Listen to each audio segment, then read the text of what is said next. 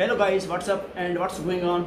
Welcome to my YouTube channel Akka Reflect and also welcome to another unboxing of this bad boy.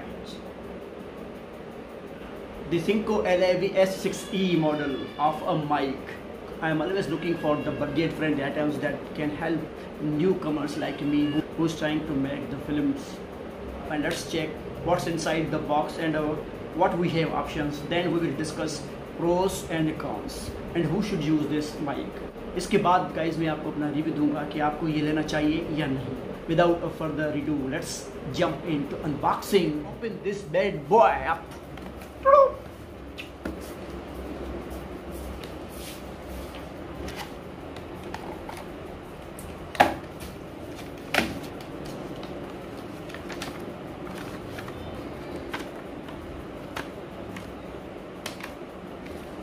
guys इसके साथ जो ये box आ रहा है ना, ये बिल्कुल सॉफ्ट रबड़ाइज्ड यानी कि इसकी फील देता है।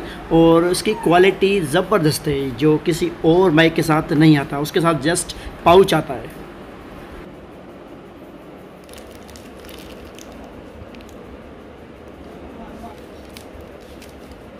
तो गाइज़ अभी इसका हम कवर उतार के चेक करते हैं, इसमें क्या है।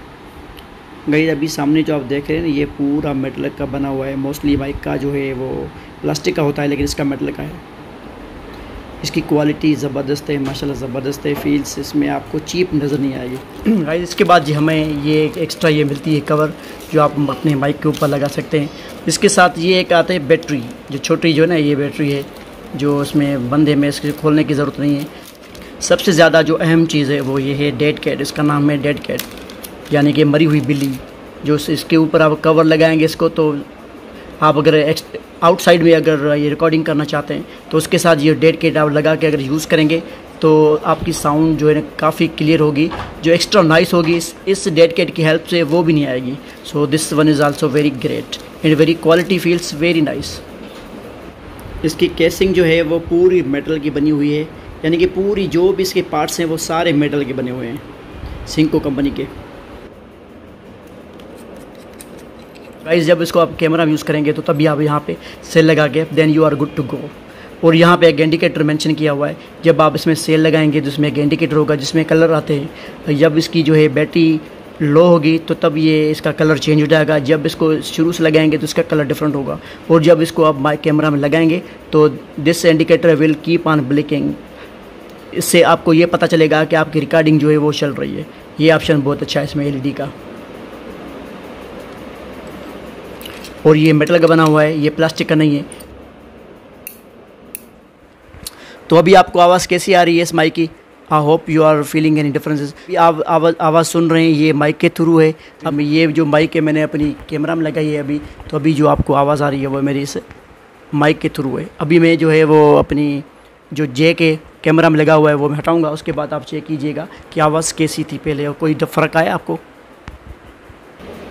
तो गाइज़ अभी जो आपको आवाज़ सुन रहे हैं डायरेक्टली फ्रॉम कैमरा में जो बिल्टन जो माइक होती है, उसी से आप अभी सुन रहे हैं। यानी कि पहले जो आप आवाज़ सुन रहे थे माइक के थ्रू माइक की आवाज़ थी जो आप सुन रहे थे अगर आपको कोई फ़र्क महसूस हो रहा है तो मुझे कमेंट में बताएँ इसकी आवाज़ में कोई फ़र्क है या नहीं है। अभी मेरे रूम में एसी भी चल रही है और फ़ैन भी चल रहा है स्लो तो उसकी आवाज़ भी अभी आ रही थी। जब, जैसे मैंने ये माइक यूज़ की तो इसमें कॉलर में लगाई यहाँ पे। तो आवाज़ जो जो रिडक्शन थी ना, जो फ़ैन नॉइज़ थी एसी की नॉइज़ थी, जो एक्स्ट्रा जो नॉइज़ थी, वो तकरीबन ख़त्म हो गई थी। के लिए सिर्फ़ मेरी आवाज़ ही आ रही थी आपको। To be very honest guys अगर आपको ये माइक लेनी है, अगर आप ये सोच रहे हैं कि आपको ये माइक चाहिए व्लॉगिंग के लिए तो मैं आपको बिल्कुल ये माइक रिकमेंड नहीं करूँगा। क्योंकि अगर व्लॉगिंग आप कर रहे हैं तो इसमें जो है ना लीड है। दिस इंक्लूड्स अ लीड ये माइक सिर्फ़ उन हजरात के लिए, उन भाइयों के लिए जो सिर्फ़ अपना जो चैनल जो है वो पॉडकास्टिंग का ओपन करना चाहते हैं, जिसको पॉडकास्टिंग करनी है, यानी कि उनको सिर्फ़ जैसे मैं अभी बैठा हुआ आपको रिव्यू दे रहा हूँ अबाउट दिस माइक तो बैठे बैठे आप अपनी कैमरा जो सेटअप है, आपका ट्राईपॉड अभी जो सामने वो लगा हुआ है, वो मैंने ये जो है अभी कॉलर में लगा के जस्ट इसको यहाँ पे फिट कर देना है। आराम से जो भी मैं किसी से मैं इंटरव्यू लूँ या किसी से मैं बात करूँ या मैं किसी के किसी टॉपिक के बारे में मैं बात करूँ तो आ, आराम से मैं आपको जो है वो क्लियर आपको वॉइस पहुँचा सकता हूँ थ्रू द वीडियो अगर आप अगर व्लॉगिंग के लिए यूज़ करेंगे फॉर एग्जांपल व्लॉगिंग ऐसे होता है कि आप कैमरा हर जगह पे यानी कि मूव करते हो घूमते रहते हो तो उसमें इसमें वाइड है इसमें तार लगी हुई है कनेक्टेड है तो उसमें आप जो है ना वो आपको डिस्टर्ब करेगी। तो उसमें this one is not for vlogging purpose इसकी क्वालिटी वॉइस की क्वालिटी जो है मुझे बहुत अच्छी लगी। इसका साउंड क्वालिटी माशाल्लाह ज़बरदस्त है। और उसकी जो वैसे भी ओवरऑल जो बिल्ट इन क्वालिटी है, वो भी ज़बरदस्त है। आप विदाउट एनी हेजिटेशन अगर आपको ये, यानी कि आप आप सोच रहे हैं कि बजट में कौन सा अच्छा माइक है तो फिर आपको जो है वो एक्सपेंसिव जो है माइक लेने की कोई ज़रूरत नहीं है। जैसे रॉड हो गई और ऐसे काफ़ी जो है मॉडल हैं जो काफ़ी महँगे या कॉस्टली आते हैं। जैसे हमारा गंजी सोएग भाई है उसके पास आपने यूट्यूब स्टूडियो देख, देखा होगा ना उसके पास बड़ी बड़ी माइक्स लगी होती है। वो आपको लेने की कोई ज़रूरत नहीं है जस्ट आप ये ले लें आपका जो काम है वो आराम से हो जाएगा। उसकी क्वालिटी भी बहुत अच्छी है इसकी लाइफ टाइम भी बहुत अच्छी है। इसकी जो लीड की जो क्वालिटी है फ़र्स्ट क्लास है ज़बरदस्त है यानी कि ये ख़राब नहीं होगी। ये लेकिन आप उसको आराम से केयर से with if you will handle this with a care आराम से इसको अगर आप यूज़ करेंगे तो ये काफ़ी टाइम निकाल पाएगी आपके लिए। तो ये था आज का मेरा रिव्यू का इस होप यू लाइक इट मुझे उम्मीद है कि आपको ये मेरा रिव्यू पसंद आया होगा। अगर आपको ये मेरे, मेरा रिव्यू पसंद आया है तो please like share and also subscribe my YouTube channel and comment down below और मुझे बताएँ कि आपने अगर ये माइक ली है ऑलरेडी तो उसकी आपको ये कैसी लगी। टिल देन टेक केयर अल्लाह हाफिज़.